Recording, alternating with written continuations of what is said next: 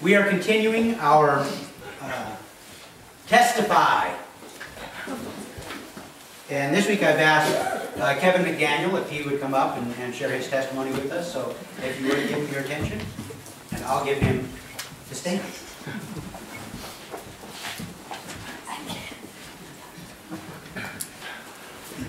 lean against this a little bit. Um, good morning, everyone. For those of you that don't know me, my name is Kevin McDaniel. I've been going to this church for somewhere around seven years, I think now. Um, also working with the youth for about six years now, the youth group in the church. So, um, my testimony could take all day um, if I wanted to, and on and on and on, because um, it's one that was a lot of disappointment um, in myself and victory for the enemy, um, unfortunately, for a lot of my life. Because the, the problem was, I was actually, well, that's the wrong way to say it, the problem was. Wonderful thing was, I was raised in a Christian home um, by parents who were really God-fearing, God-seeking people. Um, and I, of course, you know, went right along with that and learned how to read out of the King James Bible and, you know, very uh, much inundated with the Word and knowing the truth of, of the salvation message and knowing the gospel of Jesus Christ um, very well from a young age. Um, and that's where the sad part comes in uh, because, um, well, I'm going to read really quick uh, a passage from Romans that I think applies. Um, we actually studied this the other day um, at church. He was uh, bringing up Romans chapter 1 well, it's after Acts. Hang on. Me, who knows the Bible so well, you know, from a young age.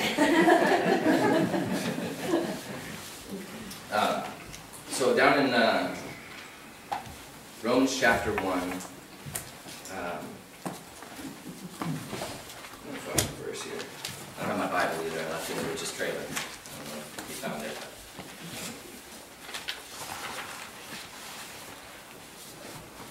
Um, basically it's talking about God's wrath on the unrighteousness um, and having no excuse. Um, uh, because God's invisible, or here we go, verse 19. Um, For what can be known about God is plain, um, because God has shown it to them. For his invisible attributes, namely his eternal power and divine nature, have been clearly perceived ever since the creation of the world in the things that have been made, so they are without excuse. For although they knew God, they did not honor him as God, or give thanks to him, but they became, became futile in their thinking. Their foolish hearts were darkened. Claiming to be wise, they became fools. And this is the verse I was really uh, wanted to talk about, was verse 23. It says, And exchanged the glory of the immortal God for images resembling the mortal man and birds and creeping things. Um, and then down in verse, I can't find the verse where it says, they exchanged the truth of God for a lie. Maybe it doesn't say it in this version that way. 25. 25, is that where it is? Because, yeah, there it is. Therefore they gave, God gave them up in the lust of their hearts to impurity, to the dishonoring of their bodies among themselves, because they exchanged the truth of God for a lie, and worshipped and served the creature rather than the Creator, who is blessed forever. Amen. Um, and that, that's basically what I did a lot. Because I claimed to know the truth, and I did know the truth. I'd been following the truth under my parents' supervision, parents' guidance my whole life. Um, and then my father died when I was 15, um, and there went my whole support structure for my faith. Um, it wasn't a faith of my own, it was a faith based on just, I knew that was the right way, so I just followed it. I didn't have a personal relationship with Jesus, even though I believed everything um, about the Bible to be true. So, from there, I went downhill. Um, I didn't, you know, like become a drug dealer or go, you know, kill people or stuff like that, you know, but I really did. Um, if you know what I mean. Basically, one sin is the same as another in God's eyes. If we're not following Him, we might as well be a murderer and a drug dealer. And a, um, if we don't have that personal relationship, then the rest of it doesn't matter at all. Um, and that's that's where I was failing for quite a, quite a lot of years. Um, traveled around a lot, got to see a lot of the world and different places, and meet a lot of people. Um, the sad part is, um, during that time, I was, you know, I basically still claiming to be a Christian and working with Christian organizations and um, leading Bible studies and, you know, all under my own power um, and then it had to finally fall. Um, so one day I was involved with an organization, Christian organization, and um, someone back home in Kalispell, where I was based out of at the time, I don't know if they got a vision from God or just what, what happened there, but they heard God's voice saying, hey, you need to help Kevin McDaniel. Um, and so basically they contacted people that were in authority over me over in the Upper Peninsula of Michigan where I was doing my training. Um, and so they all got together on the phone and had this conference and this prayer time all about me. And, you know, the people that called and the people that were in my in authority over me then didn't know each other, had no connection, nothing like that. It was just God worked together with, with, with godly, wise people to uh, confront me. And they just came to me and said, hey, you know, what's going on with your uh, with your Christian walk? You know, oh, I'm doing good. God's blessing me. You know, it's just you know the same old story. You know, hallelujah, just like everyone does on Sunday morning kind of thing. You know, um, put that face on, and, and they basically said, baloney. You know, what? Tell me more about your personal relationship with God. You know, and. Uh, that was the starting point basically, you know, I hemmed and hawed and tried to, you know, and then over the next few days and weeks, um, they didn't, didn't force the issue at the time, but that's what started it, you know, over the next few days and weeks, um, basically, I realized what I was doing and verses kept popping to mind and I kept reading stuff in the Bible about, you know, that Romans verse was a really big one, was just the, that I, I knowing the truth about God exchanged it for a lie. I mean, that's the, the most foolish thing I can think of. You know? Um, anyway, after that, I got on fire for God and got to do some really amazing things. Um, and then, of course, downhill again and uphill again. That's, I think, the story of all of us. Um, to me, the importance is, though, where you are today and uh, where you want to be tomorrow with it. What I mean by that is obviously where we are today with our relationship with Jesus Christ, our personal relationship with Jesus Christ, um, and our time that we spend with Him. Um, and then what's the goal? Where are you trying to go with it? You know, obviously, heaven is the ultimate goal. We don't want to burn in hell for eternity. Think anyone really has a desire to do that. Um, but that's the, the, the, the point of us being here on earth and the point of us being Christians and still stuck in this earth, um, you know, is to share it and to spread it. You know, that's they call it the Great Commission. You know, to go forth into all the world and to share the gospel, to seek and to save the lost. Um, unfortunately, that's probably how do I put it? Where where the the world, where the Christian world, the American Christian church breaks down worst. I think. Um, because we can do great on our own, we can even have that great personal relationship with Jesus Christ where we, you know, our God is our rock and our salvation and we follow Him. But I believe that if we're not in some way actively pursuing the furtherance of His kingdom, you know, bringing other people to Him, sharing this awesome thing that we have and that we claim to, oh, this is the best thing in our lives. Well, if you have the best thing in your life, why don't you tell people about it? You know? Um, and that's kind of the point that, that God has been working on me the most the last five to ten years is just yeah, my personal witness, my testimony. Uh, I need to share that with other people. Um, so I went through all the ups and downs and trying to get myself straightened out.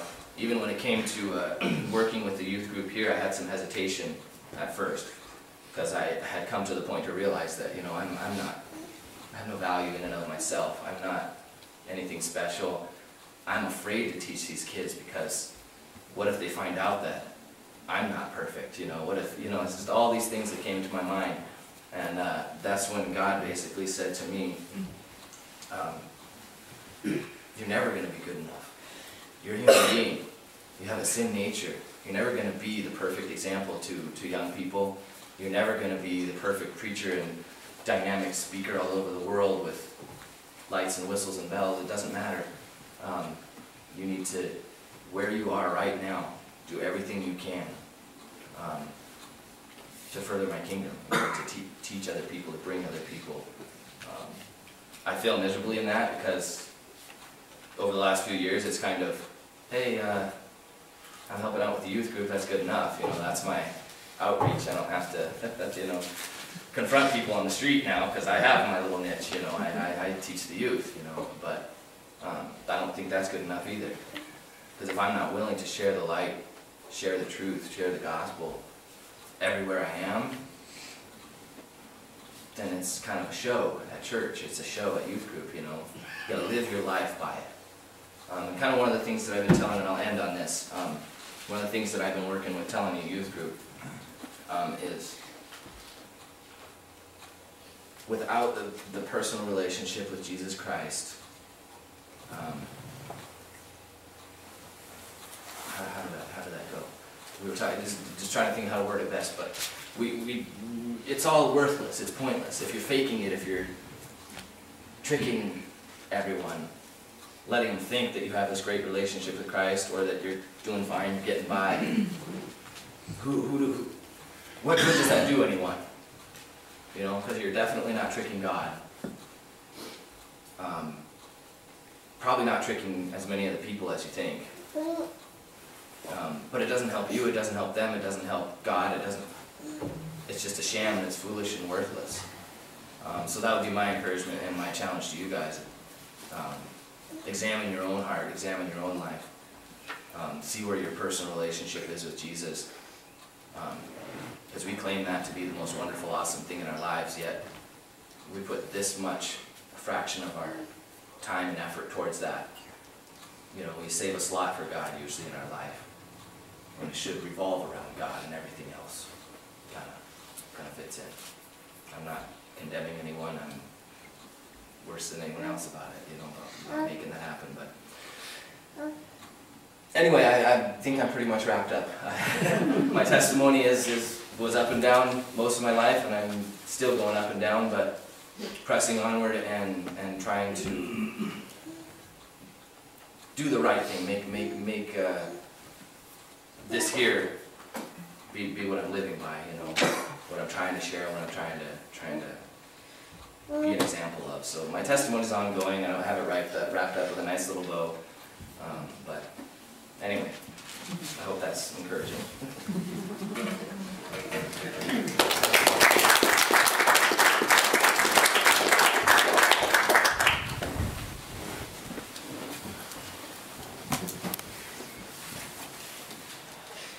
This is probably very selfish, but I am so gratified to hear that people struggle. It makes me feel not so alone.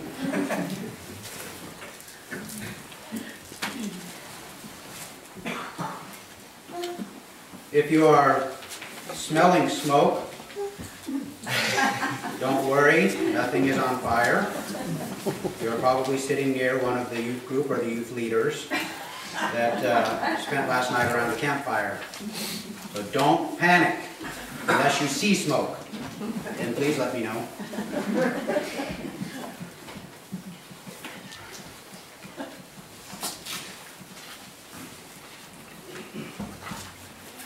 We're in the book of Colossians. I know, still. And we are to one of the sections that is I have been eagerly looking forward to. And uh, we're in Colossians chapter 1. You can go ahead and turn there. And last week I was, I was pretty excited because we covered a lot of ground last week. I think we covered four verses, five verses. We were flying. And I was really excited this week because this next passage, uh, it's about five verses. And I was really excited because I said, wow, we're going to cover a lot of ground. We're not going to cover a lot of ground. We're going to cover a lot of material. Uh, we are going to be all throughout God's Word today. Um, I'm going to start reading in verse 15 of chapter 1 of Colossians. Father, I ask that you would bless the reading of your Word. We invite your presence here today, Father, that you would be honored, that you would be glorified. I ask, Father, that our lives would reflect your glory that we would carry a true witness, a true testimony of your grace and mercy in our lives. I ask your blessing in Jesus' name. Amen. Chapter 1, verse 15. He, referring to Jesus, is the image of the invisible God, the firstborn of all creation. For by him are all, all things were created in heaven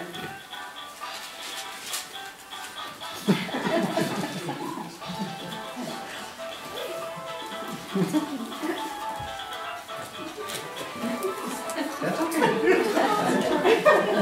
You probably feel a whole lot worse about it right now than I do. Am I confusing?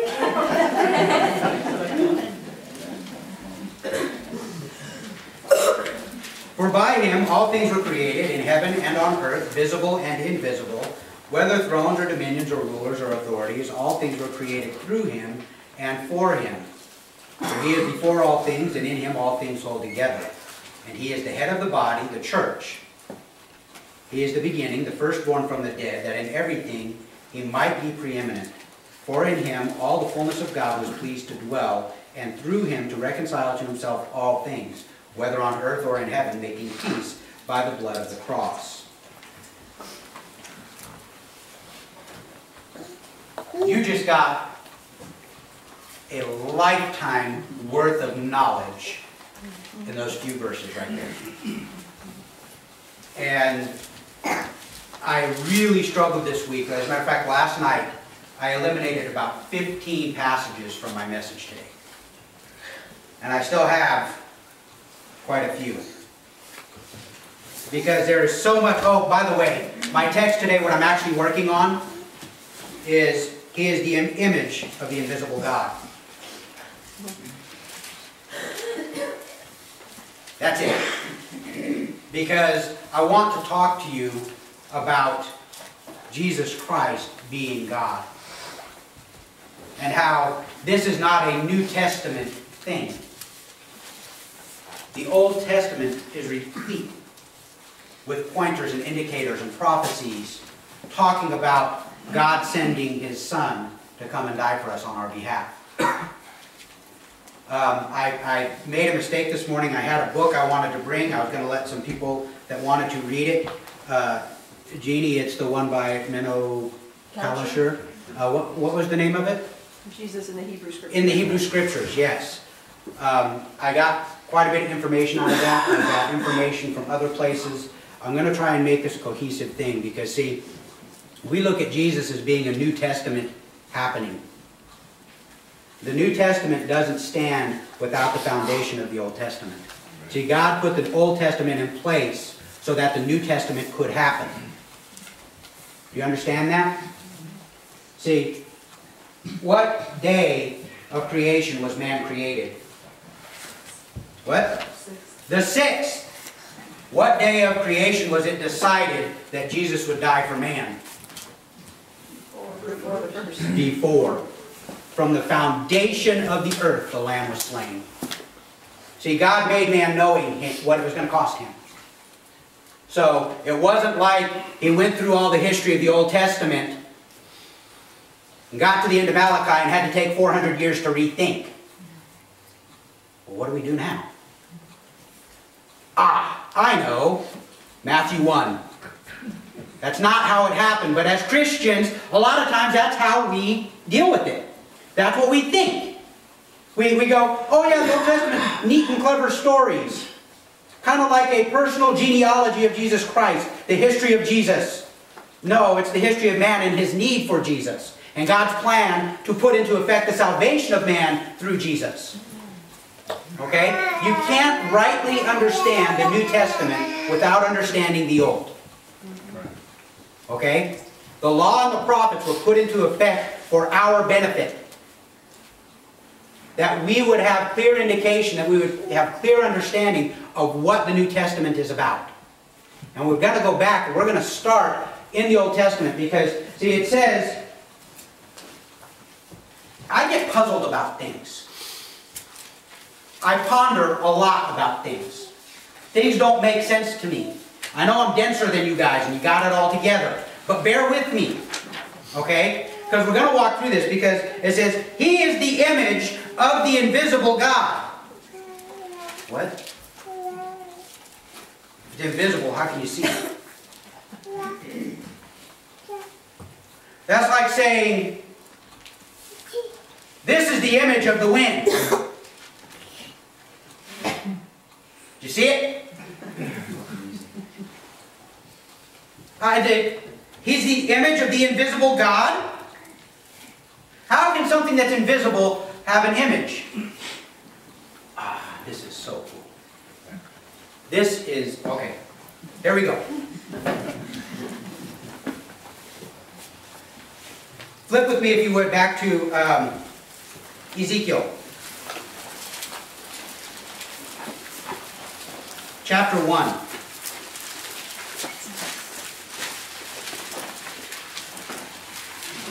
I'm gonna, I'm gonna read a couple things here. I want you to hold them in your head for a little while. Because we're gonna come back to them. Ezekiel chapter 1. It's on page 878 for those of you that have my Bible.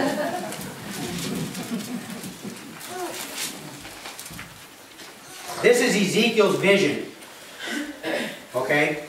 And I'm going to start in verse 26. There's, there's a lot that comes before it. But I'm going to start in verse 26.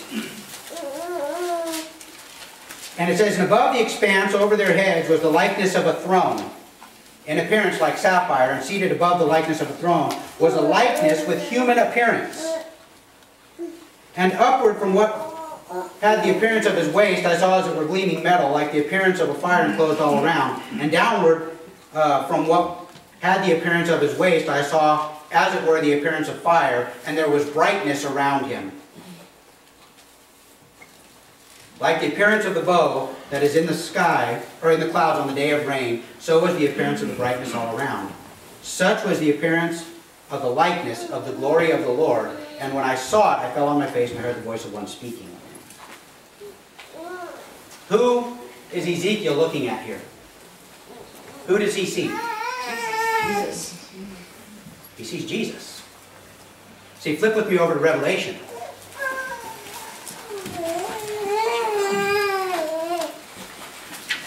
Now, John, for a thousand years later,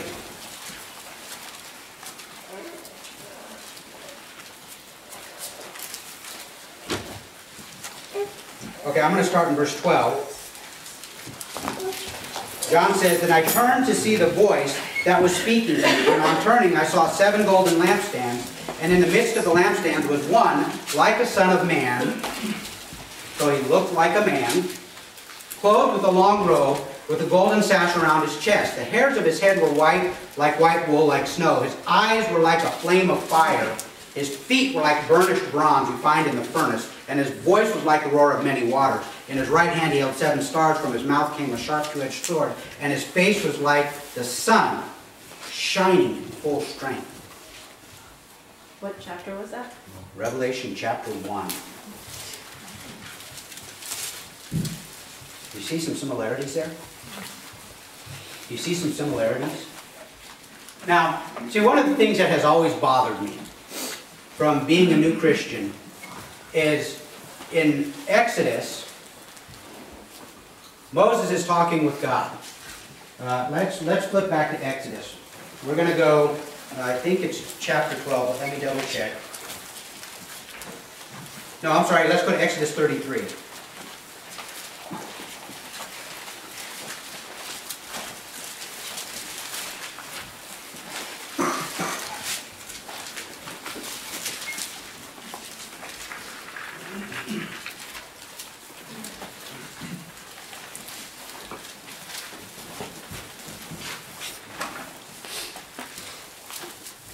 Starting in verse 17, God is speaking with Moses. Okay? And the Lord said to Moses, the word Lord there, notice that it's all caps. Most of your translations should have it all caps. You know what that means? Can somebody tell me what that means? Yahweh. Yahweh. Yeah, it's the name of God. He, he is referring to the personal name of God. The name by which God identified himself. So he says, And the Lord spoke to Moses, This very thing that you have spoken I will do, for you have found favor in my sight, and I know you by name. Moses said, Please show me your glory. And he said, I will make all my goodness pass before you, and will proclaim before you my name, the Lord, Yahweh. and I will be gracious to whom I will be gracious, and show mercy to whom I will show mercy.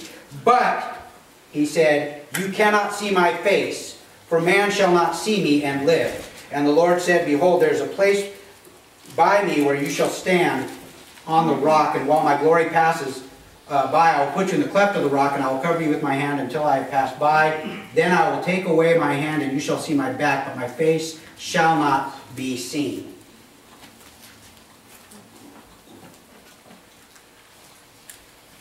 What's that indicate to you?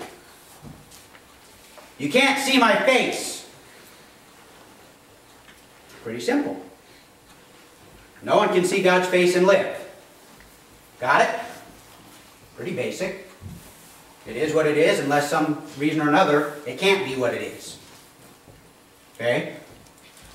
So, right here, God is telling Moses, no one can see me, no one can see my face and live. I got a bit of a problem now. Because let's back up a little bit earlier in the chapter.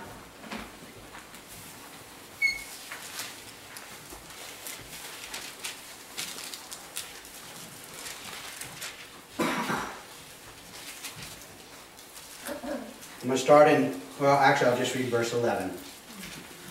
Okay? Verse 11 is talking about the tent of the meeting. It says, Thus the Lord, again, Yahweh, the same name, the same person. Thus the Lord used to speak to Moses face to face, as a man speaks to his friend. When Moses turned again into the camp, his assistant Joshua the son of Nun, a young man, would not depart from the tent. I've got a dilemma. Why is it that God says no one can see his face and live, and yet earlier in the chapter he's just spoken face to face with Moses? Look, it's not, um, he's not making an illustration here because he, he even goes further and says, as a man speaks to his friend. Okay? He's not saying that Moses went in and you spoke to the voice of God and God saw his face. It's face to face. Moses is looking at Yahweh's face. How then can God turn around and say, No one can see my face and live? Because if that were the case, Moses would have been dead before that conversation. I have a dilemma. How do we reconcile this? We reconcile this because the Trinity has always been. The three parts of a triune God has always been. It didn't come into creation. God did not fracture himself at some point because plans went awry. God has always been a triune being. We're going to flip to some verses here in the Old Testament that talk about the triune being of God. But the very first thing, uh, Genesis chapter 1, God says, let us. Now, I know Hebrew tradition is, is takes that because the, the us there is a plurality. We understand us, okay? But what, what we don't understand is that the Hebrew is unique in that the word used for us there doesn't mean two or more. It means three or more. Okay? That's unique. We don't have that kind of thing in our language. What does several mean? See, I always grew up that a couple was two and several was three or more. Yeah. You know what? There's two, two definitions in the dictionary for several. Two or more or three or more. And then I think one of them says up to seven. No wonder people hate English. You know, we can't even understand, we can't even come to a reasonable agreement on what the word should mean. But in the Hebrew, the word specifically means three or more. Now, the Hebrew understanding of that is God being one. Okay, we understand that God is one. There is no other God before or after Him. There is only one. Why then would he say, let us? Three or more. The Jewish thinking is he's speaking to the angels. What? But nowhere in Scripture do we have indication that God used the angels. It says he spoke, and it was. So why, they're his consulting team? Architectural engineers. Gabriel! What do you think about this model for DNA?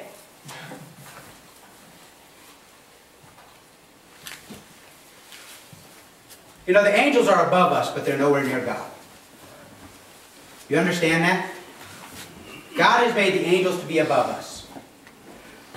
But they are not godlike. See, Lucifer, we believe from Scripture, was the chiefest of the angels, one of the archangels, serving at the very throne of God, one of the, the high ups. And he rebelled against God, and God went, out you go. And on that day, he will be brought before judgment. He will be cast down. He will be bound up because God said so. Okay? Satan bigger than me? You betcha.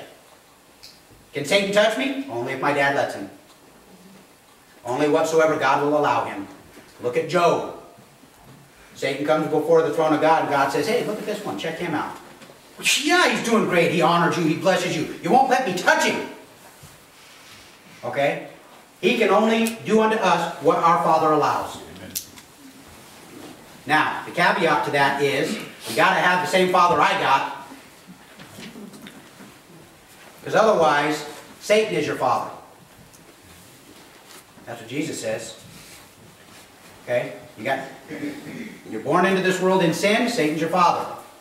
It's only through the grace of the cross, through faith in the grace of the cross, that we have the right to become children of God. We get a new dad. One that has a whole lot more our interests at heart. Okay? So, we have this, this, this powerful creature, creation. Now you understand Satan was a created being, right? Okay? God created him just like he created us. The methodology was different. I don't know what they used to make the angels. They used dirt for us. I'm okay with that. You know? He made, made us out of dirt, but he breathed life into us. So that's what makes us unique. That's what makes us different. Okay? So, a created being. So why would God consult with a created being about creation? I don't think it has anything to do with the angels. I think that's a desperate attempt on the behalf of Jews today to keep Jesus from being who he is. I think they are blinded. Romans tells us they are blinded for a time. Thank God they are blinded for a time because Romans also makes a point to clarify that they're blinded on our behalf. So that we can come to grace. Do you understand that? Paul says that they are enemies of ours so that we, the season of the Gentiles, that we might come to grace. But there will come a day. I'm, you know, I, I read an article, and actually there were two articles uh, in the last week. Uh, do you guys know who Stephen Hawking is? Okay, Stephen Hawking, is a, a, a brilliant idiot. Okay? He's a, he's a brilliant idiot. Th- that passage that, that um, Kevin read this morning, uh, that's, that's Stephen Hawking.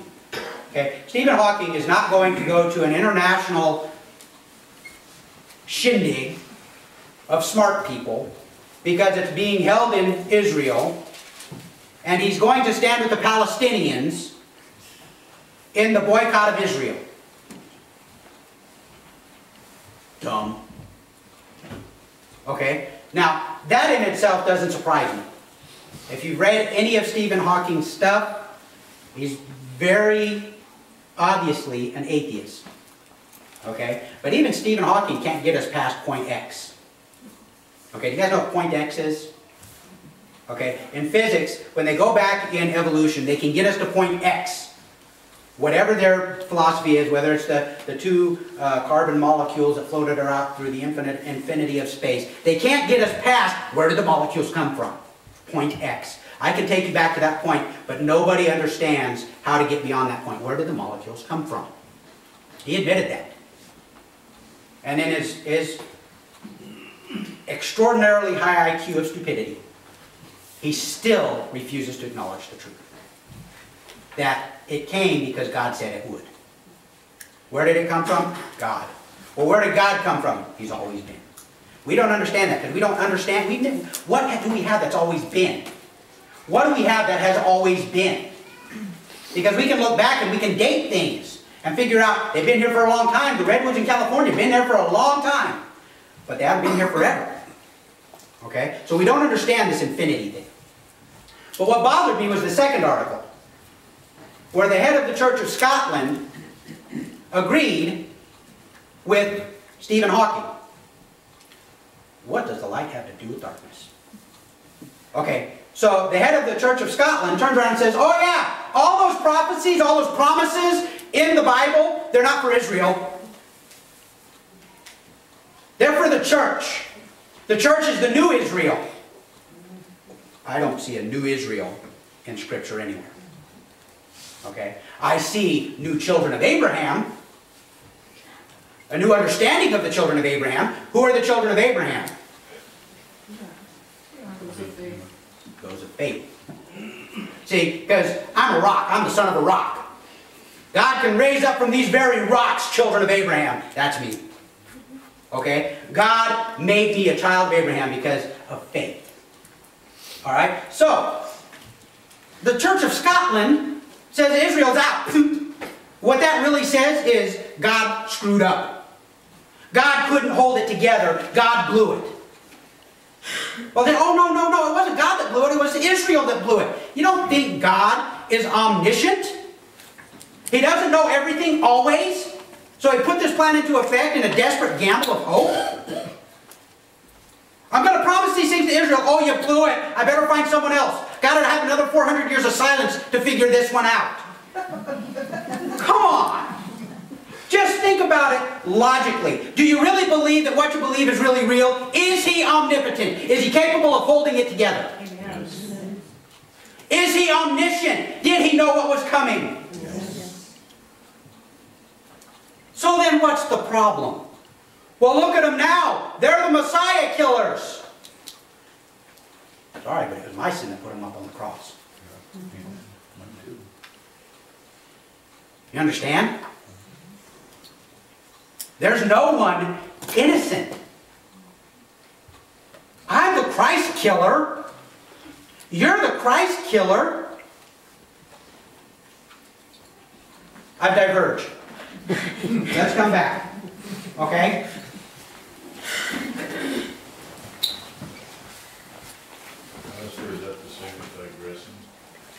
No.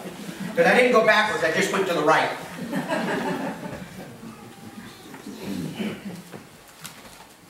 Okay, so we talked about how can Moses sit face to face with God, and then a few verses later, God say, No one can see my face, lest he die. I believe earnestly it's because God has always been a triune being. He's always existed in three parts. Okay? Now, a lot of people look to the New Testament at the birth of Christ, sometimes even at the baptism of Christ, as like the introduction of the triune being of God. There he is. He's born a man, fully God, fully man, the Son of God. There, he's a biune being. Is that a word? Biune? What would the word for that actually be? Well, just, just go with me. And then, then at the baptism, into the water he goes, up out of the water he comes. God's Spirit descends on him. Oh, now he's a triune being. That still leaves us with the dilemma of the first part of Genesis, where he speaks in a plurality of himself.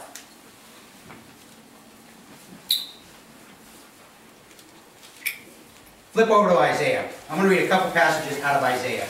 This, when I read this, just blew my mind. Isaiah chapter 48.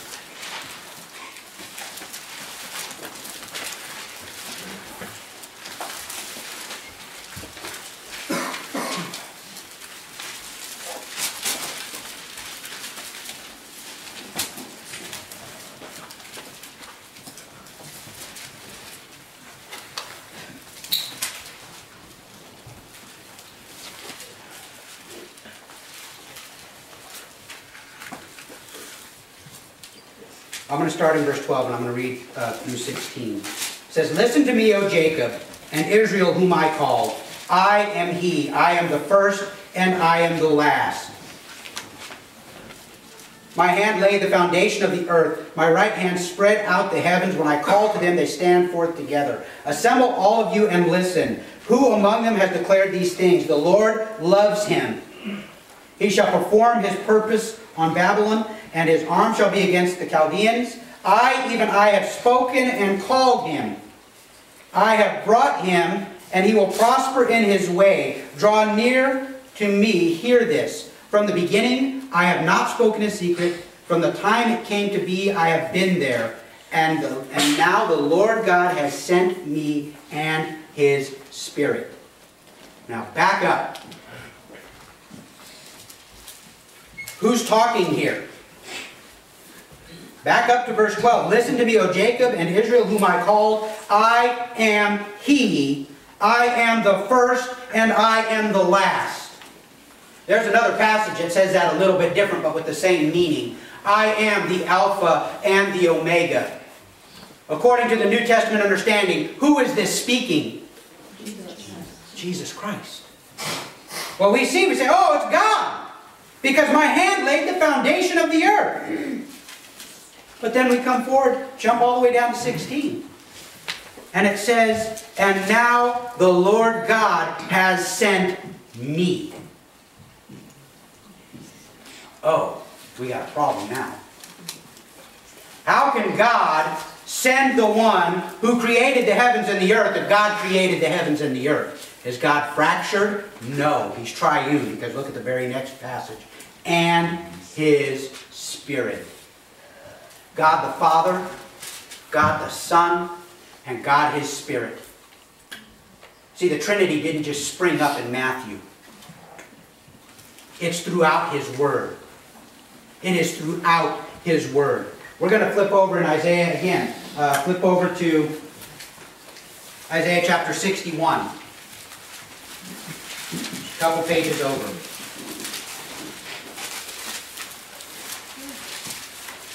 You guys probably are familiar with this passage.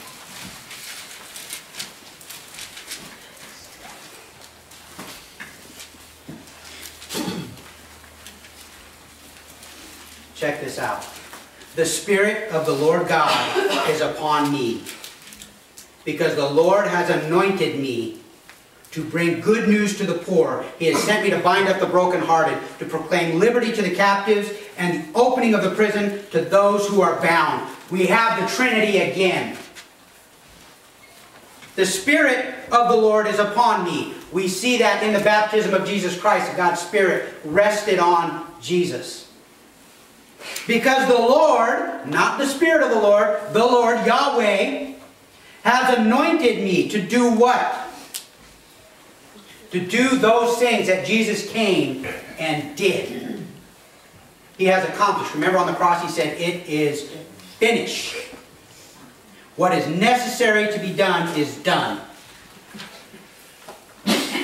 We have the Trinity listed here again in the Old Testament.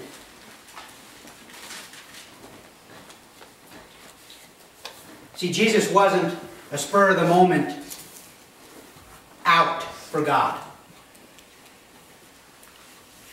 Jesus is the image of the invisible God. The God that cannot be seen lest man would die has made a way for himself to be seen by man. There are a number of passages, I'm, I'm not going to get into this, this was actually a section that I, I pulled out But if you would like to borrow this book, it's an absolutely fantastic book. Uh, it's written by uh, a man of Jewish, I guess it would, would you say, I guess it would be Hebrew descendancy, but he's, he's a Christian, he's a Messianic Jew, uh, he's a completed Jew. He's understood and received the promises.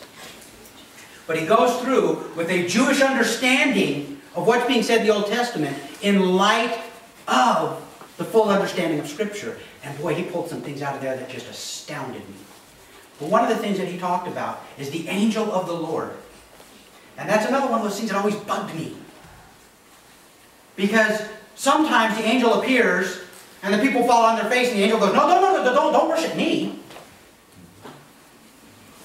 Worship God in heaven. And other times, they fall on their face and he accepts it. What? I believe that when the angel of the Lord appears, big A, angel, that it is Jesus Christ. The messenger of God coming to deliver God's message, just like he did in the New Testament, except in a different form. Okay? And we see this over and over and over again. Okay? Even in the New Testament, we see when angels appear to people, if they fall down and worship him, he says, don't worship me, worship God. But the angel of the Lord always receives the worship. Why? Because I believe it is the Son of God. Okay? If you're interested in the book, fantastic book, read it. What is it? Uh, it is called um, Jesus in the Hebrew. In the Hebrew Scriptures by Meno, M-E-N-O, Kalisher, K-A-L-I-S-H-E-R. K-A-L-I-S-H-E-R. Okay? Um, so, I want to I want to point out a couple things in the New Testament. Don't worry about turning here because these are just a couple of verses I want to read. John chapter 8, Jesus is talking to the, uh, the Jewish leaders, and he's talking about uh, Abraham and Moses and why, why are the Jewish leaders not accepting him? The Jewish leaders are like, hey, show us a sign. The whole thing that brought this about is I just healed the blind guy. What more signs do you need? Well, show us another one. Well, I healed the guy with the crippled hand on the Sabbath, and you yelled at me for healing on the Sabbath. What more signs do you need? John chapter 8, verse 57 through 59. So the Jews said to him, You are not yet 50 years old, and have you seen Abraham? They being kind of cocky with their brilliant stupidity. Okay? Have you seen Abraham? If they knew who they were talking to, do you think those words would have come out of their mouth? Because look at Jesus' response. This is awesome. Jesus said to them, Truly, truly. Now that, that truly, truly there, that is the absolute integrity. This is the utmost truth. The fact that it's reiterated means that there is no variation in this. This is truth. Okay? Some of your, your scriptures might say, I tell you truly. Some of them might say, verily, verily. Okay? But the, the same meaning in the Greek means this is the absolute truth. Okay? So he says, Truly, truly, I say to you, before Abraham was, I am. So they picked up stones to throw at him. but Jesus hid himself and went out of the temple. Now, before Abraham was, I am. Why did they pick up rocks? Yeah. See, Jesus says, before Abraham was, I am. I am is the name that God used, the personal name that God used for himself. I am. And Jesus just made himself equal to God. He is proclaiming, I am the same as God. Okay, in another place, he calls himself the Son of God, and they pick up rocks. For the same reason. Because the Son has an equality with the God that with or with the Father that the servants do not. Okay? So when Jesus says, before Abraham was, I am. So Jesus was born before Abraham? Jesus was created before Abraham? No. Remember, let's go back to the scripture we started off with. Before the foundation of the world, the Lamb was slain. John chapter 1, in the beginning was the Word, and the Word was with God, the Word was God. He was in the beginning with God. All things were made through him, and without him was not anything that was made that was made. So, who is he talking about? Who's the Word? Well, he says later, the Word was Jesus. He came into the world. Okay? So in the beginning, now that doesn't mean that in the beginning he was created, that at the beginning of what we know as the beginning, he already was. And the Word was with God, and the Word was God. See, Jesus Christ contains in himself everything that is godly. He is God. Okay? He is what we classify in our own attempt to understand things, the second part of a triune God. Okay? Spoken about in the Old Testament, fulfilled in the New Testament. Sitting in heaven, chomping at the bit, waiting to take his people home. Okay? Now, you need to understand this, because when Jesus comes the second time, it's not going to be pretty. Because he's coming back as the offended God. He's coming back as the angry creator of all life. He's coming back with justice for those who have not received his grace. It's going to be ugly. We look as Christians at the coming back of Jesus with hope, with the glory that will be ours in him. And that's great if we are Christian, but if you're not Christian, if you do not belong to him, you should fear this day because it is going to be horror beyond imagination. He's coming back angry. He is not pleased. He is restraining his wrath for a time that the full measure might be gathered in. He is restraining his wrath for our sake. He's restraining his wrath for the sake of his people Israel. But on that day, the gates come down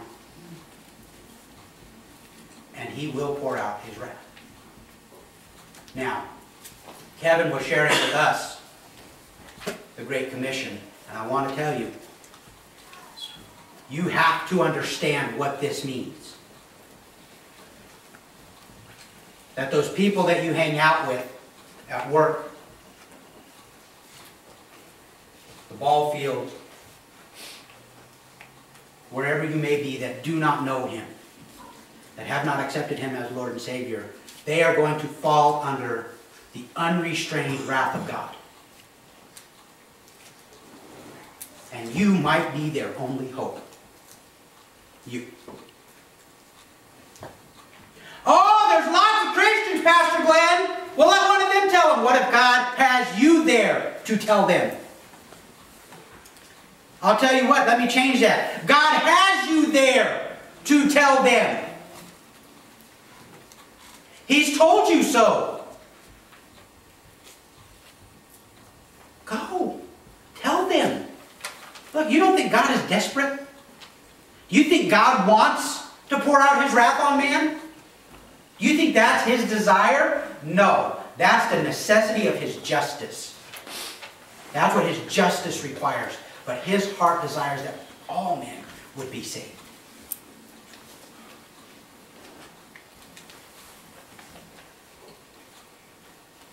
I'm going to wrap up with this. I know I've gone a little bit long today. Um, one question that popped into my mind very early on in my walk. Why did Jesus have to become a man? Why? Why couldn't God have just gone, bing, and done? He can do anything. Why not that? See, God didn't come for his, on his behalf. He came on ours. Genesis chapter 3. Man has fallen. Don't worry about turning there. I'm just going to read one passage. Man has fallen. God walked in the cool of the evening in the garden. He's walking in the garden, wanting to spend time with Adam and Eve. And they're hiding. And, and God calls out, Adam, where are you? As if God doesn't know. Okay, Adam, come out from behind the poison ivy.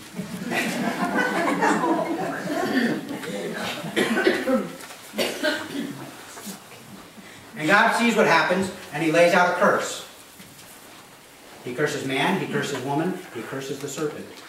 But see, in his cursing of the serpent, he also gives us the first promise of redemption. Because see, Genesis chapter 3, verse 15 says, speaking to the snake, I will put enmity between you and the woman, and between your offspring and her offspring. He shall bruise your head, and you shall bruise his heel. See, we see the fulfillment of that at the cross. Satan playing his end game. Ah, Messiah. we'll see how he likes death. And he bruised his heel. He put him on the cross. He killed him. And God raised him from the dead on our behalf. And he's bruising the devil's head every day since. Okay? We have the first promise of a Savior right there. Why did he have to come? Hebrews chapter 4 verse 15 says, For we do not have a high priest who is unable to sympathize with our weaknesses. I tell you what, this gives me hope. This gives me courage. Because I have a Savior who is not unable to sympathize with our weaknesses, but one who in every respect has been tempted as we are, yet without sin. Let us then with confidence draw near to the throne of grace, that we may receive mercy and find grace to help in our time of need. That gives me hope. Because see, Jesus went through it all. Everything that I fail at, he succeeded at. And he knows what it costs. Do you notice what they call the throne? It's the throne of grace. Right now, he is seated on the throne of grace. You're approaching now. You're approaching the throne of grace. But there will come a day when he will sit on the throne of judgment. I thank God I came to this throne and not that. Amen. So why did he come as a man? So that in every way he would know what our struggles are. He understands. He was fully God, fully man. It hurt him when people doubted him. It hurt him when people doubted his father. It hurt him when he took the beating on our behalf. It hurt him when they put him on the cross. Physically, he understands. Emotionally, he understands. Okay? The last thing I want to read with you, Hebrews chapter 10, uh, verse 10 through 14. And by that will we have been sanctified through the offering of the body of Jesus Christ once and for all. And every priest stands daily at his service, offering repeatedly the same sacrifices, which can never take away sin. But when Christ had offered for all time a single sacrifice for sins, he sat down at the right hand of God, waiting from that time until his enemies should be made a footstool for his feet. For by a single offering he has perfected for all time those who are being sanctified. So he came as a man to do what we couldn't do. To live a perfect, sinless life. To take upon himself our just punishment. To sympathize with our weaknesses, with, with our failures. Look, don't feel like your sin is unforgivable. Because if you approach the throne of grace, God can forgive you. God wants to forgive you. God does not want to mete out his justice upon you. He wants you to live in his grace. One sacrifice for all time. That's all that was needed. All that was necessary. It is finished. The image of the invisible God. Wow. One day we will see him face to face. One day we will see God face to face. That excites me. Yeah.